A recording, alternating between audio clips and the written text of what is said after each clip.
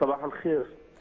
طبعا تعازينا للشهيد ومن وإيدنا آه، على محافظة إربد عروس الشمال آه، مثلها مثل باقي محافظات المملكة. آه، بدنا نعرف من حضرتك أستاذ سمير إذا في تفاصيل عن الحادثة اللي صارت امبارح.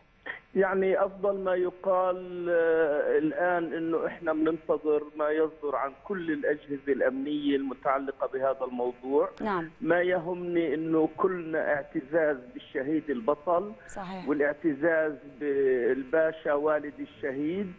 آه، كل الاحترام لشهدائنا اللي من الضروري أن يستمر الصمود والاستشهاد حماية للوطن والمواطن. نعم. آه، يعني ما جرى بإربد أنا بعتبره من السياسات الجيدة للأجهزة وللدرك وللأجهزة الأمنية في أي في ضربات استباقية لأي تفكير أو توجه بالأذى للمواطن والمواطنين. وما جرى هو تعبير على الأرض عن هاي السياسة اللي شعبنا الأردني كله فخر فيها لأنها بتحمي الوطن والمواطن.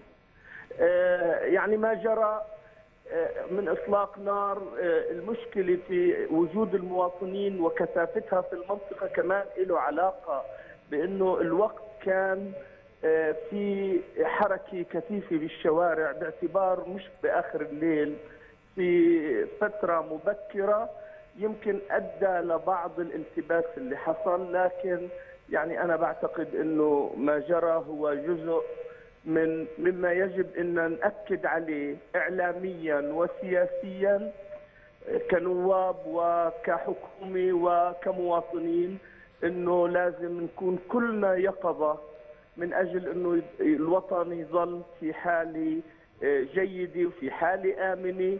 لأنه هذا في حماية لكل المواطنين الأردنيين اللي صار هو في منطقة محددة في مدينة إربد وبعتقد إنه الآن الوضع هادي جدا لكن أكيد في تبعات لبعض الإجراءات اللي آه، راح تستمر اليوم آه، من أجل التأكد إنه الوطن والمواطن بحالة ممتازة وجيدة.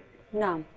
إحنا بدنا نشكرك أستاذ سمير عويس النائب عن محافظة إربد وعم نقوم بإجراء هاي المداخلات حتى نعرف التفاصيل من المصدر حتى ما يصير في أي بلبلة في الأمور. أكيد بنحيي أهالي إربد كلنا ثقة بأهالي إربد وبأجهزتنا الأمنية بشكل عام. مشاهدينا فاصل قصير وبنرجع لنستكمل فقرات يوم جديد. خليكم معنا.